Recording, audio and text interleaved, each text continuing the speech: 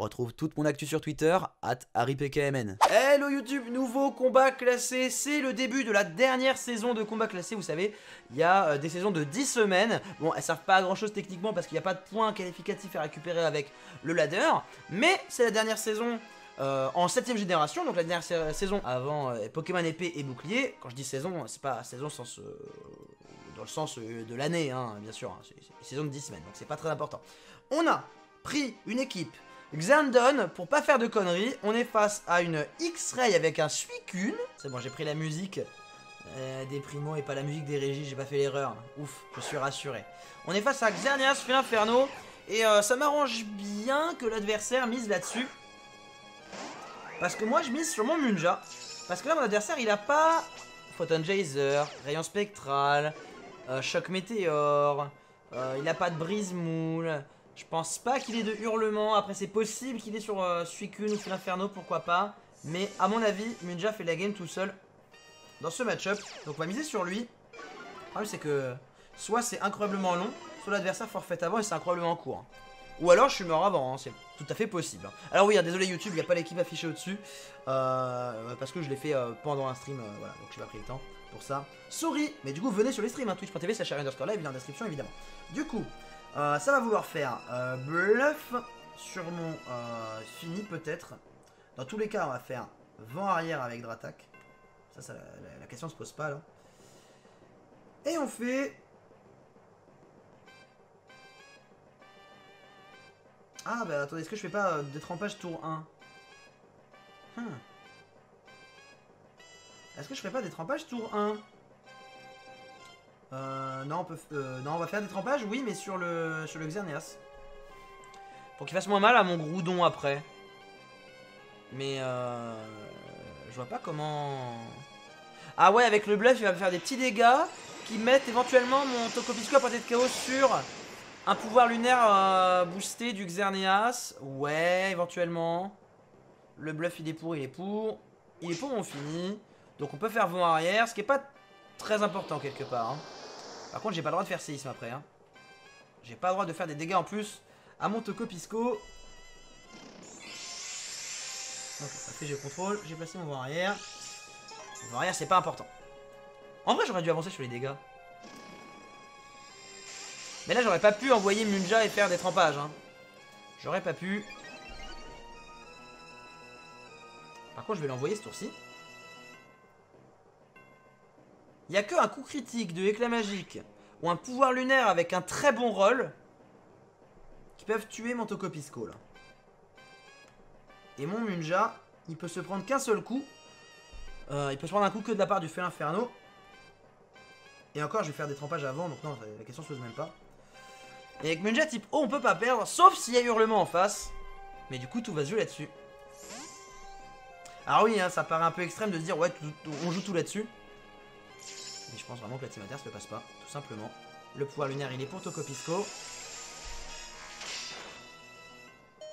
On le tient, on perd en attaque spéciale, mais on s'en fout totalement. On mange la baie c'est pas une super berry. Et on fait des trempages sur Munja, qui passe type haut. Et ça fait demi-tour sur mon Tokopisco, il a pas raison de le faire sur l'autre slot. Puisque si je vois Munja, il peut pas le faire. Si je fais abri avec mon attaque, il le fait pas. Donc il a raison de le faire sur mon Tokopisco. Ouais, la Citrus, c'est euh, c'est pour surprendre. C'est pour se soigner plutôt que l'adversaire ne, l'imagine. Et donc faire la différence. Alors je pense qu'il y a hurlement sur le Suicune s'il l'envoie euh, comme ça. Il a pas trop hésité, visiblement. Du coup, on va faire euh, interversion. Et euh, le problème, c'est... Euh, le problème, c'est que... Euh, ah bah non, mais si fait ça va, ça va passer après. Merci Nazca pour les 21 mois. Merci beaucoup, merci énormément. Ah, c'est là où il y a de la nature sur les Suicune, ça m'aurait bien fait plaisir. On peut faire gravité, cela dit.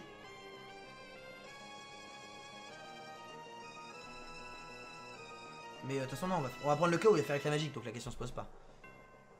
Mais on est obligé de... Ah bah non, mais il va tuer... Mais je suis bête. Il va tuer mon Tocopisco. Du coup, vraiment, ça va partir sur euh, Munja de toute manière. Donc ça change rien. Mais non, mais j'ai dit n'importe quoi.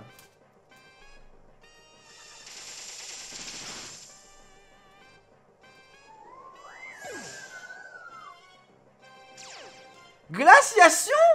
Quoi? Et moi qui me disais... Non, mais j'ai fait... De la... Enfin... Moi qui me disais... Euh... Ouais, j'aurais mieux fait d'envoyer Groudon et faire Vantardis dessus, c'était mieux. Eh ben non Glaciation sur Suicune, mais quoi? Et c'est une attaque offensive. Donc, ça ne passe pas. Euh, ça ne passe pas. Euh, Wonderguard. Et du coup, j'aurais mieux fait de faire ombre portée au tour précédent. Hein. C'est bien dommage.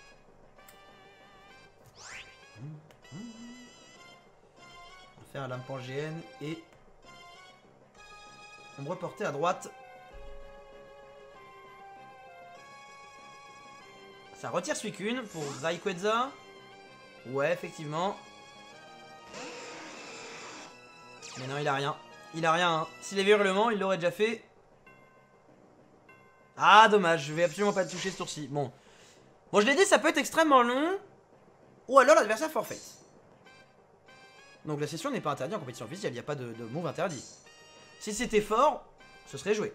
Et c'est absolument pas le cas. Là, c'est le premier que j'ai vu de la saison. Hein. Il y a plus de vent arrière, mais on s'en fout un peu. On va faire Draco Griffe sur le Rayquaza. Euh, ça vaut le coup de faire interversion? Oui, parce qu'il va vouloir faire euh, Force sur mon Groudon, je suppose. Donc, go faire interversion. Ou alors euh, Draco Ascension plus euh, pouvoir lunaire, mais ça il le fera pas parce qu'il a peur. Enfin, quoi que, est-ce qu'il a peur d'interversion ce tour-ci? Peut-être. De là à faire euh, Force, mais en vrai. S'il se dit qu'il peut encore gagner, alors ouais, il peut encore avoir peur d'interversion. Pourquoi pas. L'envoi arrière est terminé, j'ai mal pris mes notes. Il n'y a plus de soleil, mais on s'en fout totalement.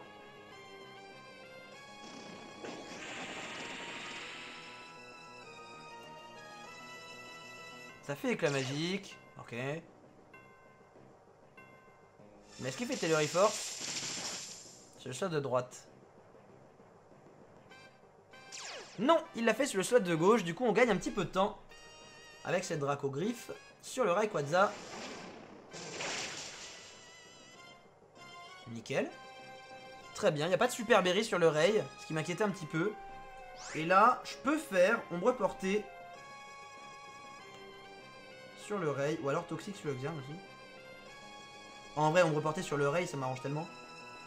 Et s'il fait le que sur Groudon, il n'y a plus de, de possible. Si jamais il l'avait encore sur. Si jamais il a sur et qu'il n'a pas eu la bonne idée de le faire.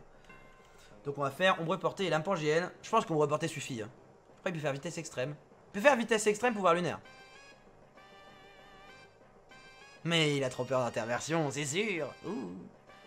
Ça retirerait, d'accord Est-ce qu'il va pouvoir lunaire?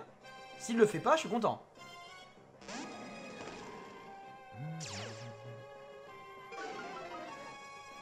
Moins un, ça je le note, ça peut euh, être un peu embêtant. Par contre, j'ai pas le stab spectre. Ah ouais, en vrai, euh, sans le stab, est-ce que je tuais le Rayquaza avec mon reporté? Je sais pas. Hein. Je suis pas sûr à 100%.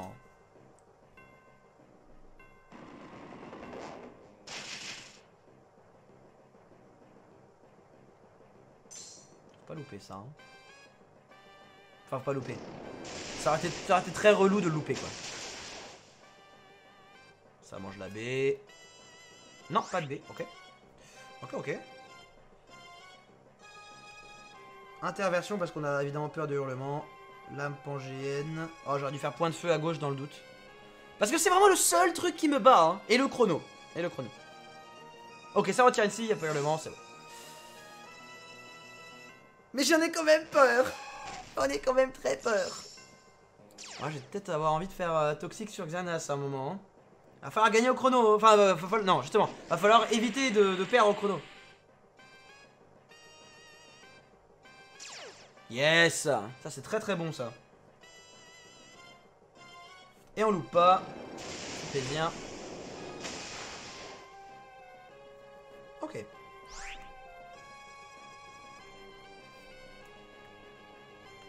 Toxique à droite et abri avec Groudon.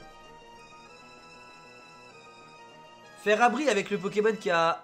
Non, ce qui est, ce qui est horrible pour l'adversaire en général, c'est quand... Euh, C'est quand tu fais euh, quand tu fais abri avec le Pokémon qui a interversion. Ah ça c'est horrible.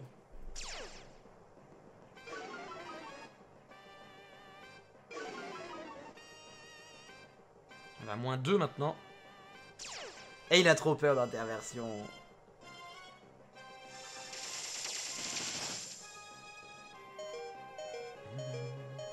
Critique, on s'en fout, ça change plus rien, sauf si on loupe fait l'inferno, et ça c'est très relou. Ça c'est très très très relou. Ok, on loupe pas toxique, déjà ça.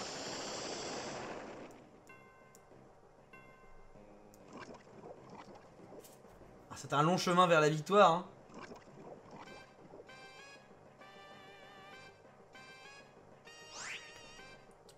Je fais abri.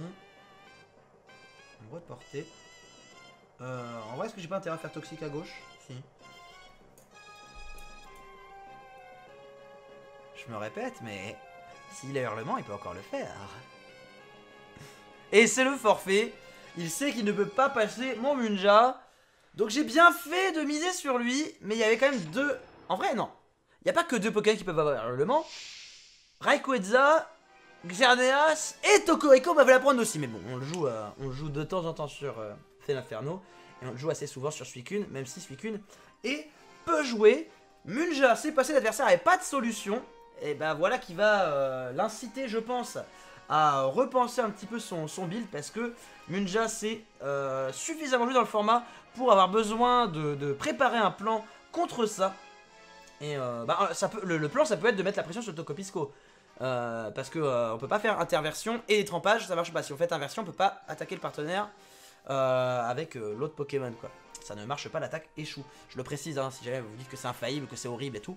Il y a beaucoup de solutions à ça, mais quand il n'y en a pas en face, eh bien on en profite et c'est gagné pour euh, pour ce premier combat classé de cette nouvelle et dernière saison en 7G. N'hésitez pas, si vous regardez ça sur YouTube, à laisser le pouce bleu de la victoire, à aller checker cette vidéo qui est formidable. N'hésitez pas à activer la cloche et à vous abonner si vous êtes nouveau sur la chaîne. Moi je vous dis rendez-vous très bientôt pour de prochains lives et de prochaines vidéos. Salut tout le monde.